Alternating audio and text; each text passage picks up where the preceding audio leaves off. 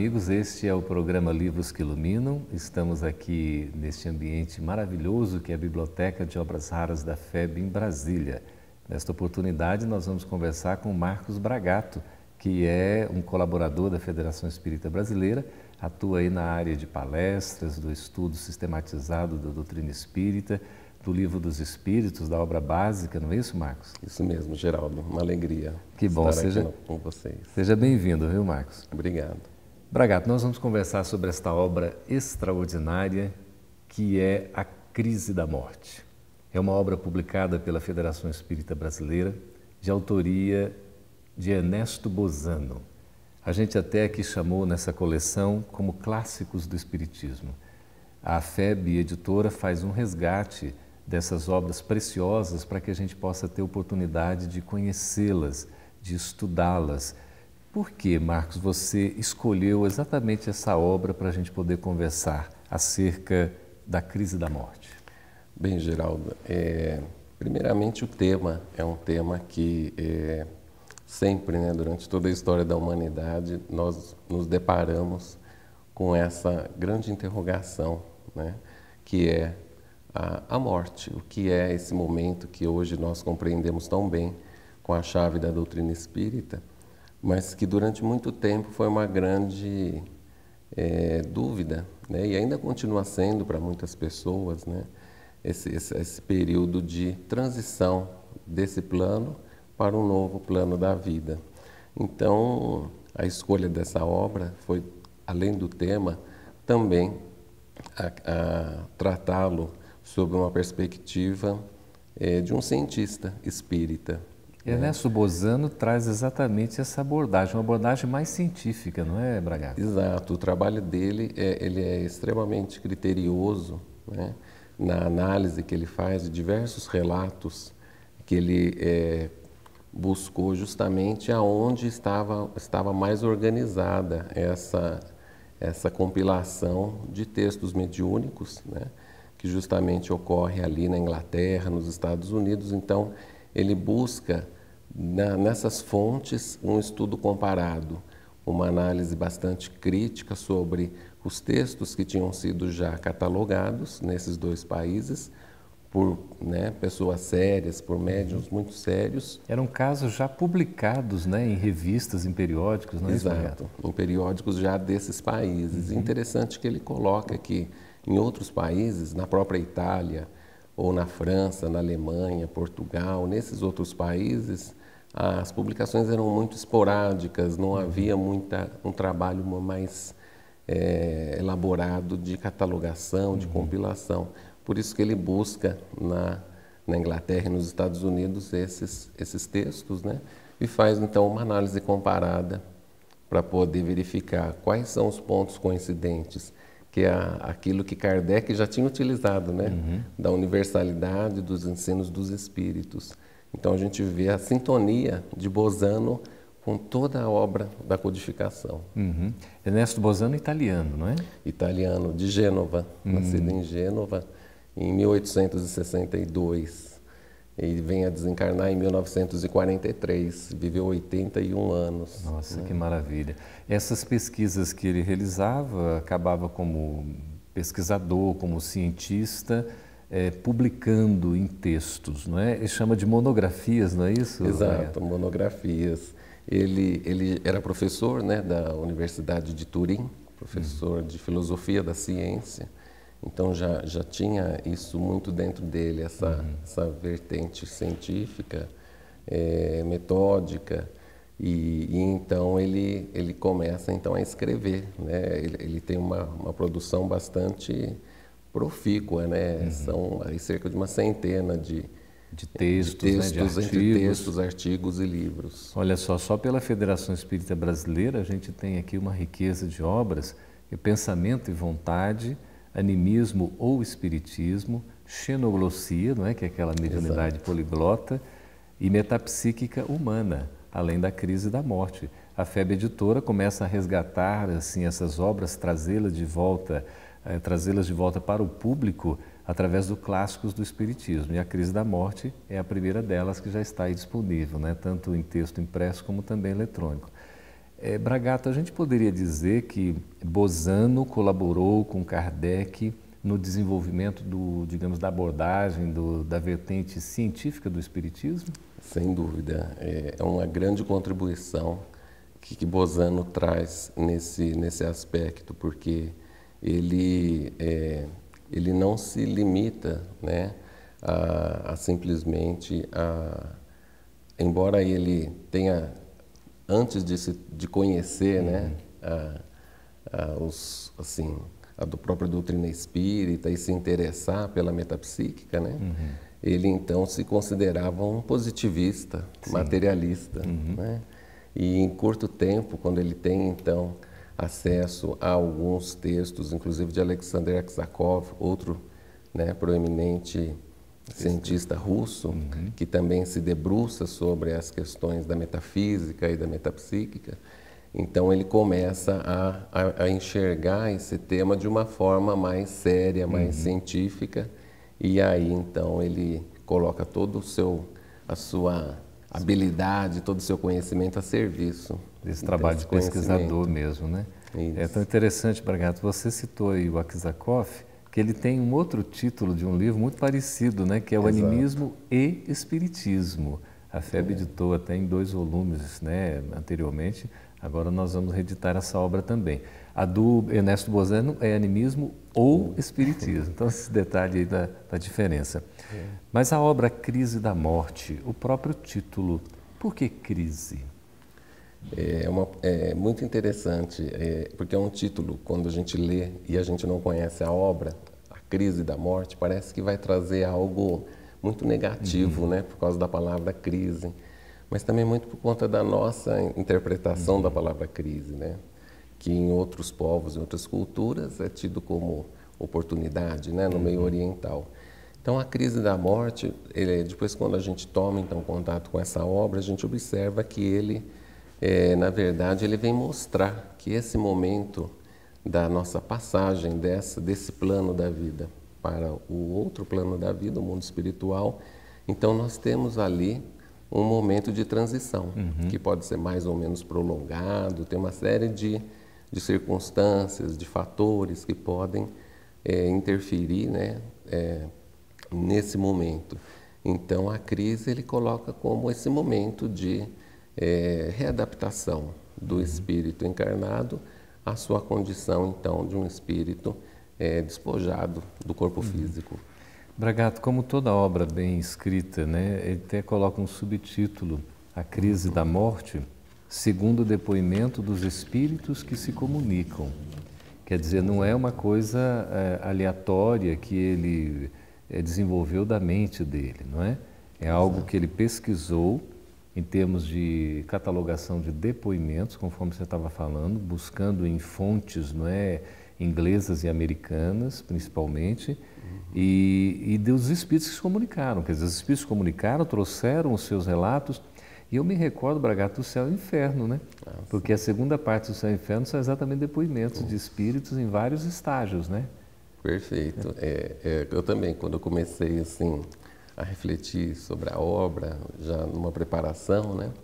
É, o Céu e o Inferno é uma obra né, extremamente importante também da codificação, uhum. né?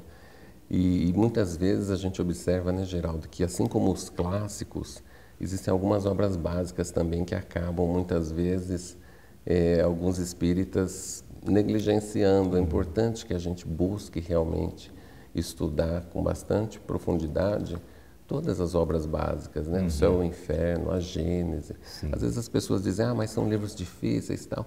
Mas é muito mais uma, um pré-julgamento do que propriamente a realidade daquelas obras. E né? quando a gente também percebe, né, Bragato, assim, a, a, a didática de Kardec, Exato. codificador, é uma coisa muito até fácil, né? Porque a gente começa a ler, você se envolve, é, sente a habilidade ali de um pedagogo escrevendo, Exato. né? Claro, materializando essa doutrina aqui para nós, que é da revelação dos espíritos superiores, e, e a gente vai navegando ali até com um certo prazer, né? uma satisfação de estar conhecendo aquilo.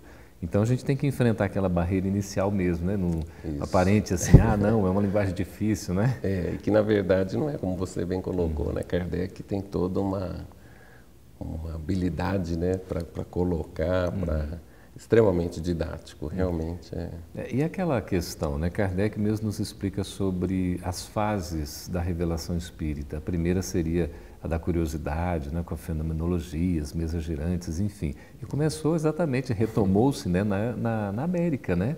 Nas Isso. Américas, América é. do Norte, não é?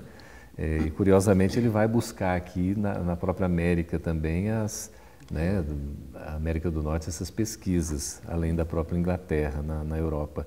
Aí a gente verifica a, a, questão de um segundo momento da revelação né, espírita, a, a, o estudo, a pesquisa, o lado filosófico, não é isso? Uma reflexão e também essa parte científica. Exato. Né? E depois a aplicação em si, a vivência. A gente poderia dizer que essa obra aqui de Bozano se encaixa exatamente nesse segundo período da revelação?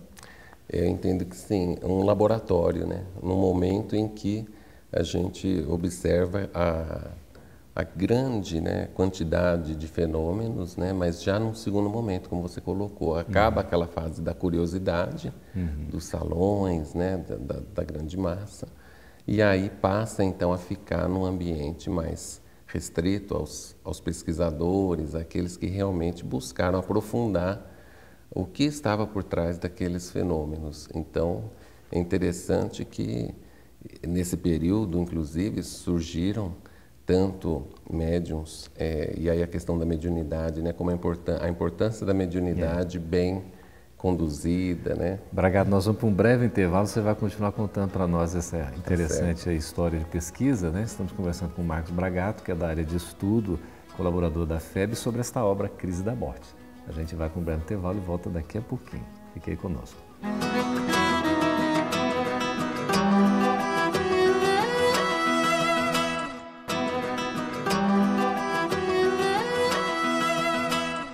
Estamos de volta com o programa Livros que Iluminam aqui na FEB TV, nesse ambiente que é a Biblioteca de Obras Raras, conversando nesta oportunidade com Marcos Bragato sobre este livro que é A Crise da Morte, um livro editado pela FEB, de autoria de Ernesto Bozano, pesquisador, cientista italiano, professor, e é tão impressionante porque é uma obra, não é Bragato, conforme você explicava, que já traz aí aquele segundo momento da revelação espírita, é, em que nós temos realmente uma reflexão, um aprofundamento em termos de estudo dessa pesquisa toda científica. Você estava fazendo uma contextualização nesse sentido, né? É, lembrando, né, Geraldo, a questão da, da mediunidade, né? Então, quando é, nos reportando a esse momento, né, esse segundo momento já de, de um aprofundamento da, das pesquisas, então a gente observa que naquela época haviam é, médiums que é, sérios que realmente é, trabalharam em conjunto com esses pesquisadores, mas também tínhamos a, a, já naquela época, né, e, é, os médiums que, que realmente muitas vezes é, não eram tão sérios, uhum. muito, algumas situações até mesmo de charlatanismo, uhum. de mistificadores, mistificadores uhum. aproveitadores né, da, da da boa-fé das pessoas. Então, foi um período em que houve muito essa, é, essa, esse debate, vamos uhum. dizer assim. Né? Algumas pessoas querendo dizer que tudo era a conta dos mistificadores, uhum. quando na verdade não, existiam os sérios e os não sérios. Uhum. Né? Então, a importância desses cientistas da época, que, né, grandes cientistas, né? nós é. estamos falando de Ernesto Bozano, mas William Crookes, Oliver Lodge, Aksakov, uhum. tantos outros, né, que se debruçaram e que trabalharam, né, nessa é. na, na, em César consolidar Lombroso. César Lombroso também na é. Itália, né?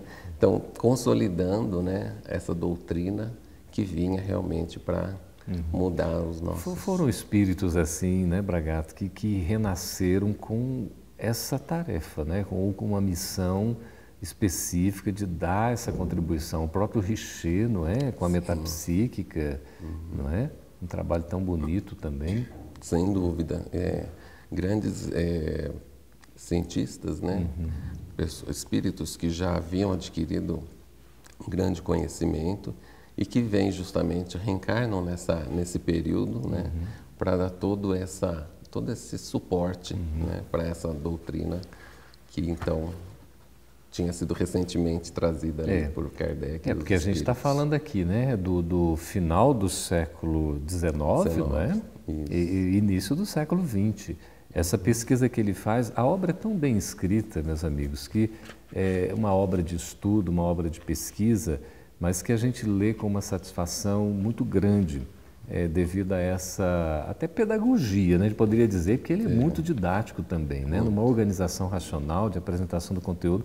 A obra então tem um prefácio, tem e faz uma, uma espécie de, de apresentação, de contextualização do assunto, até para dizer como é que foram as pesquisas e tudo mais. E aí ele cita, né, que realmente buscou que, que, isso aqui é resultado de pesquisa, que é uma monografia, né, como ele chamava, uma é. espécie de resultado de um trabalho, que viriam outros, inclusive, não é? E, e aqui a gente tem a pesquisa que foram trabalhados né, em periódicos é, é, norte-americanos e britânicos, né? então aqui é a abordagem mais anglo-saxônica, não é isso? Exato. E, e, aí é o prefácio que Guion Ribeiro, o tradutor da obra, faz em, em 1930, isso. não é isso? Exato. Aí a gente entra é, nessa questão dos casos específicos, são os depoimentos. Ele traz 17 relatos, não é? Exato. Como é que foi para você fazendo a leitura, o estudo desses casos? O que assim lhe chamou a atenção, até para a gente compartilhar com os nossos amigos espectadores? É, essa, essa leitura, Geraldo, é, como você colocou, os espíritos é que vieram trazer as informações. Mas é tão rico esse trabalho do Bozano porque ele traz, além dos depoimentos dos espíritos, é, ele também conta muitas vezes com depoimentos dos guias espirituais, uhum. daqueles que estavam auxiliando os espíritos naquela comunicação. Uhum. Né? Então, é muito enriquecido esse trabalho também por conta desses complementos. Né? E, e, assim, alguns relatos chamam muito a atenção porque a gente vai vendo ao longo dos 17 casos uma grande concordância que ele chama de, de uma concordância primária e secundária, ele uhum. separa, né? Então, as primárias são aquelas que realmente se observam em todos os relatos, e as secundárias, que eventualmente aparecem em um, não aparecem em outro, ou com algumas características um pouco diferentes, mas que, de qualquer forma, numa análise criteriosa, eles uhum. se confirmam. Acabam redundando aí num, numa espécie de controle também universal, né? Sem dúvida. O método que Kardec utilizou. Isso. É. E, e, algum caso assim, porque aqui ele cita o depoimento, não é isso? É, ele traz, aliás, tem a obra tem um texto inicial antes do primeiro caso, né, que é o próprio Bozano quem escreve, isso. a crise da morte. Ele diz que segundo o depoimento os espíritos se comunicam e ele traz um, um, um alentado estudo, não é? Citando é. aqui pesquisadores, autores da época e também que deram base a todo o trabalho ah, e já colocando Isso. um aspecto espiritualista, não é, Bragato? Sim, ele já traz aqui várias, várias é, informações, né? Uhum. Que o que eu acho que o que chama atenção nessa primeira, nesse ponto aqui do livro, justamente é a questão da, da lei de afinidade, uhum. né? É uma uhum. coisa que ele destaca aqui e da importância então da, da lei de afinidade, ou seja, quando nós passamos é, deste plano para o outro plano, né, no momento do, do, que a gente chama de morte, que na hum. verdade é uma mudança de endereço, sim, sim. né? Então, quando nós estamos a, a, as coisas não se transformam por completo, né? uhum. né? Nós continuamos sendo nós mesmos, né? uhum. né? Com as nossas preferências, com as nossas afinidades. Quer dizer, confirma um princípio, né, da doutrina espírita que é exatamente esse da imortalidade, né, do, do, do espírito. Isso a, inclusive a conservação da sua individualidade, né? Perfeito. Permanece sendo quem ele é. Isso. Uhum. E, e a, a, o, o, que encontraremos do lado de lá, muito voltado para dentro dessa lei de afinidade, uhum. né? ou uhum. seja, aonde vibramos, né? aonde, em que frequência nós caminhamos, né? A, a, morte não é um passe de mágica. Exato. Não é, é questão, ah, vou para o céu, vou para o inferno, né? Assim, Exato. imediatamente. Está tudo resolvido ou nada resolvido. Uhum. Não, é assim como em a natureza, né? Não há saltos, uhum. né? Então é todo um processo gradativo uhum. e, e, aí a gente vê também que nesse processo, é, não havendo essa mudança brusca, a própria misericórdia divina, né? A bondade uhum. divina uhum. aí sobre todos nós que que respeita, né? Que claro caminhamos então uhum. é, nesse processo de acordo com as leis divinas, com as leis naturais estabelecidas. Né? Uhum. Né? Bragato, nós estamos falando aqui sobre o livro A Crise da Morte de Ernesto Bozano, mas exatamente como é que a gente pode entender a morte? Então, Geraldo, a morte ela é um processo natural. Né? Muitas vezes nós ainda, ao nos depararmos com ela, nos, nos esquecemos de, de, de encará-la de forma natural. Né? De maneira assustadora, inclusive. Exato. É, nós vemos assim como uma... Mas, claro, tudo, toda essa forma de perceber tem uma razão de ser, uhum. por conta da nossa própria condição é, espiritual, né? a, a nossa caminhada ainda não nos, nós ainda não conseguimos ainda conquistar né, essa compreensão, vamos conquistá-la com o passar do tempo, uhum. mas de, de encará-la de uma forma natural, porque assim como nós temos o momento de nascer, nós temos também o momento de morrer, uhum. ou seja, é a chegada e a partida nesse mundo terreno. Uhum. É uma questão é, orgânica, física, né? Exato. Espiritualmente continuamos vivos. Sem dúvida. Isso. Continuaremos né? sempre. para todo sempre. E aqui tem os relatos né, que Ernesto Bozano cataloga, são 17 casos. É, algum caso assim que lhe chamou mais atenção, Bragato, mais curioso, como é que é? É, tem, tem um caso aqui bastante interessante, que é o oitavo caso, hum. Que é, ele trata do desencarne, é um espírito, então, que vem relatar que era um jovem soldado, e que ele participa da Primeira Guerra Mundial, que ocorre ali entre 1914 e 1918. No primeiro ano da guerra, ele sucumbe no campo de batalha. Hum, né? Desencarnou ali. Desencarnou ali. E essa comunicação vem ocorrer em 1918. Então, quando ele traz essa comunicação, não foi logo após o seu desencarne, mas ele vem relatar o que ocorreu com ele e, e como ele estava então em 1918, porque ele então, ele vem dizer da, da, das dificuldades daquele início, uhum. da, da, da, readaptação ao mundo espiritual, mas depois ele se torna um trabalhador no mundo espiritual. Ele passa então a ajudar aos demais espíritos, né, as equipes uhum. socorristas, é, no auxílio aos combatentes que continuavam desencarnando no campo de batalha. Então ele relata também como que era as diversas situações do desencarne. Então, por exemplo, um combatente que desencarnou, é, aqueles que muitos sim compreendiam ainda no campo de batalha e acreditavam que estavam num hospital de campanha, é. quando na verdade já estavam no hospital no mundo espiritual. Eles achavam ali socorridos no plano material, mas na verdade já, já estavam, estavam do outro no lado. espiritual. E aí é. todo o cuidado para distraí-los, para uhum. que eles fossem compreendendo aquilo gradativamente, para que não fosse um choque. Quer dizer, já era uma situação relativamente boa, não é, Bragato? Porque o espírito, ele, em condições de né, em breve tempo após a desencarnação já está podendo auxiliar, não é? Sim, realmente, um espírito é. que tinha uma condição boa, porque em pouco tempo já. Isso mesmo. Nós vamos ver as conclusões desta obra maravilhosa que é a Crise da Morte no próximo bloco, logo após o nosso intervalo. Fiquei conosco.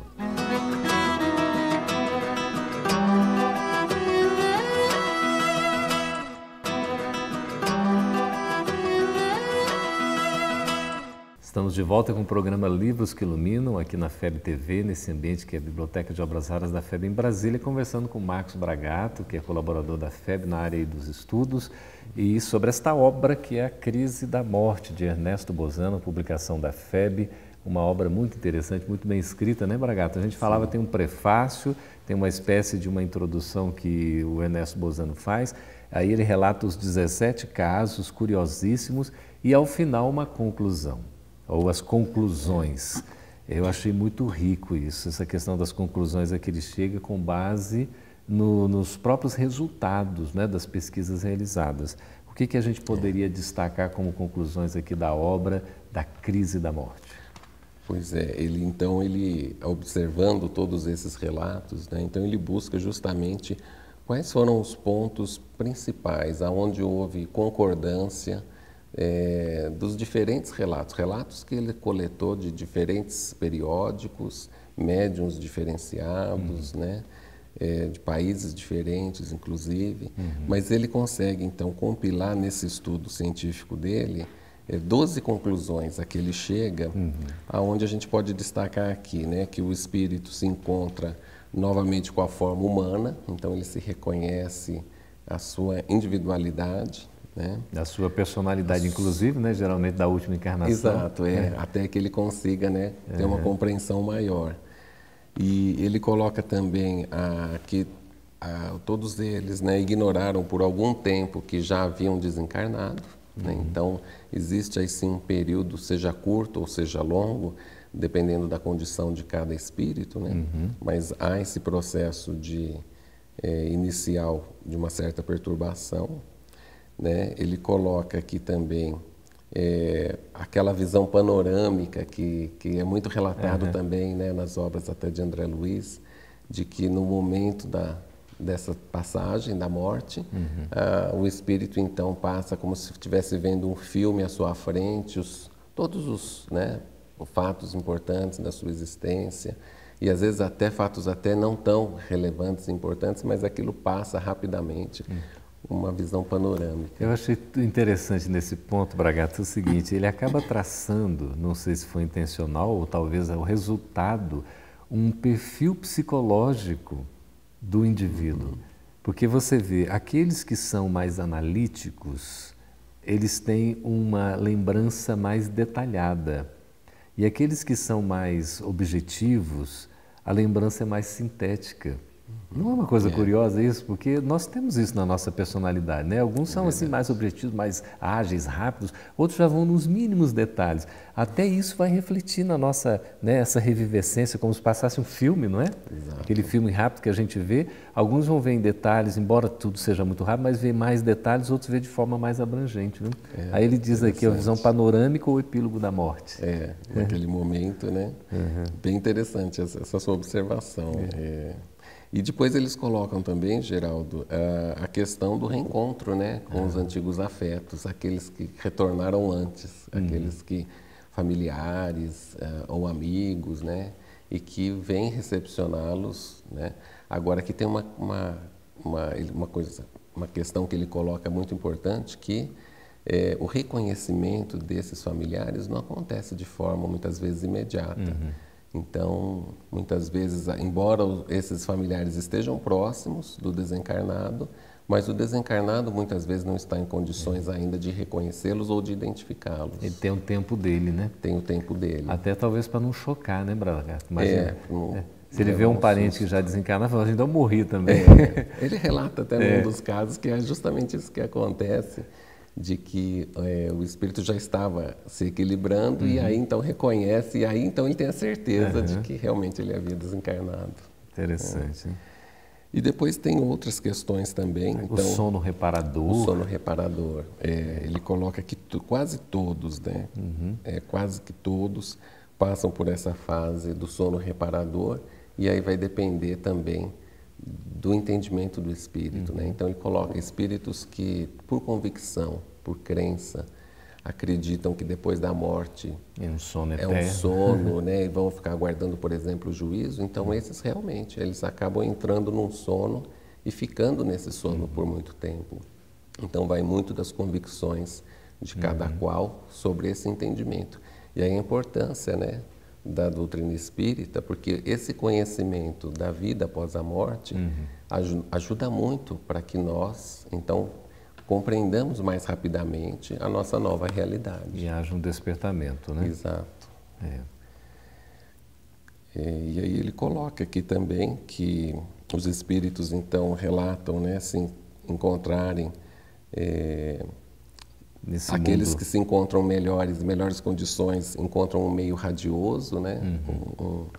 Um, um, um, bom ambiente, mas aqueles também que desencarnam em condições moralmente é, piores, é. né? Esses realmente se encontram em ambientes mais tenebrosos, uhum. mais... E a gente vê aí a harmonia com a obra de Kardec, né? O Céu e o Inferno, quando relata Exato. aqueles casos, os depoimentos a gente vê as diversas situações dos espíritos, aqueles sofredores, né, os espíritos em, é, assim com consciência culpada, é, aqueles que, que, atravessaram expiações dolorosas Exato. e os outros que já felizes, né, espíritos um pouco mais adiantados. É uma coisa curiosa que vê exatamente essa distinção, essa diferença do outro lado, né? Como é que se percebe essa realidade? Exatamente. É o que ele coloca aqui, não é? E, e aí a gente pode remeter para a capacidade criadora do pensamento, né? Uhum. As ideoplastias, porque justamente é, cada qual, né, vai uhum se colocar no ambiente em que vibra, né? Na, na, na, na sua vibração, aonde ele né? Uhum. É, se afiniza. É. Então, cria todo esse ambiente. É, que aí é um outro livro que Bozano vai desenvolver esse assunto, né? que é exatamente pensamento e vontade. Ele vai tratar muito da ideoplastia, das criações né? psíquicas, mentais, é muito interessante. Mais conclusões, Bragato, que está muito interessante, é. né? Depois ele conclui também, Geraldo, que é, reconhecem né, no mundo é, no mundo espiritual também algo tão quase palpável uhum. como o próprio mundo terreno, né, material, ou seja, a possibilidade até deles eles criarem pequenos objetos, pequenas com a força do pensamento. Né? Quer dizer, não é um mundo diáfano, assim, aquela coisa né, nebulosa.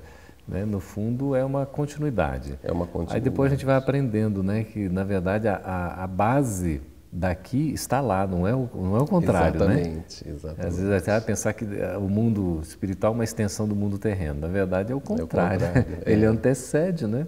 Então, Exato. ele é o primeiro que vem. Aqui é que a gente vê um reflexo do mundo espiritual. Exato. Interessante isso. É. Esse oitavo item aqui, a conclusão, a força criadora que você citou, né? A capacidade é, exato, é. Ele, ele poder, né? É interessante porque as, às vezes as pessoas perguntam essa questão, como que é a luz no mundo espiritual, uhum. né? Então, lá no livro dos Espíritos está muito bem colocado, né? De que a, a iluminação é, é diferente, né? Uhum. Então, é, na verdade, nós nos conduzimos com a luz que possuímos, é. né? Então, é... é a percepção e a realidade de cada um, né? Exatamente. É tanto a realidade que você traz intimamente como como você observa né, o ambiente Exato. ao seu redor.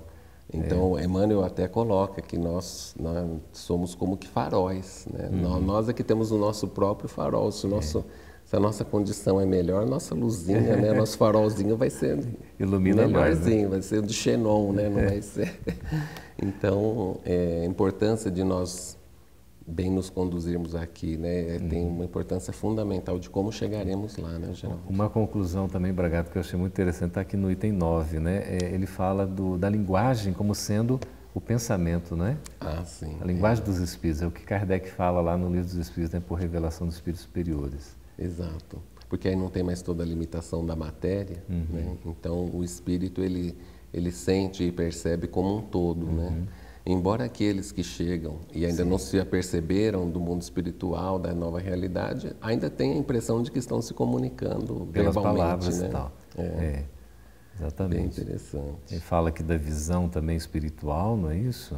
Isso, de você perceber os objetos, né, por dentro, por uhum. fora, é de Nossa. todas as dimensões, né? Que coisa impressionante. Que é né? algo que aqui a gente tem a limitação, é. né, da nossa visão vemos assim um lado de um uhum. objeto opaco, né? opaco e é. enquanto lá a gente a nossa visão aprofunda é. e também dependendo da condição do espírito, né? Essa visão vai ser mais profunda e mais uhum. de longo alcance ou não, né? É. Muito bem. A gente tem o item 11 aqui da conclusão que fala é, dessa capacidade de se é, locomover, é isso? De transferir de um ponto a outro? Exato, é, é. ele coloca aqui a questão da vontade, né? Uhum.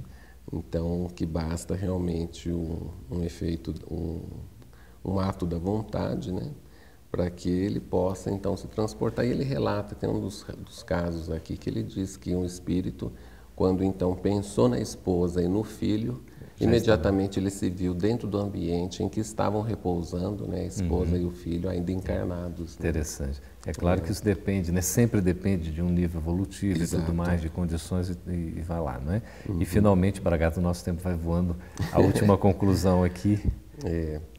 E, e, aqui ele coloca realmente, né, terem aprendido que os espíritos dos mortos gravitam fatalmente, automaticamente para a esfera espiritual que lhes convém por virtude da lei de afinidade. Olha né? que então, interessante. É, não, não, há saltos, né? Nós vamos realmente, uhum. assim como aqui na Terra buscamos, Sim. né, a, por afinidade o convívio, no mundo espiritual também essa lei é observada. Que coisa boa. Pois é, se você quiser saber mais a respeito da morte, a crise da morte, esse trabalho muito bonito aqui de Ernesto Bozano, pesquisador italiano, trazendo para nós vários depoimentos de espíritos em diversas situações e trazendo os resultados, né, Bragato, sobre essas conclusões tão importantes, confirmando os princípios fundamentais da doutrina espírita.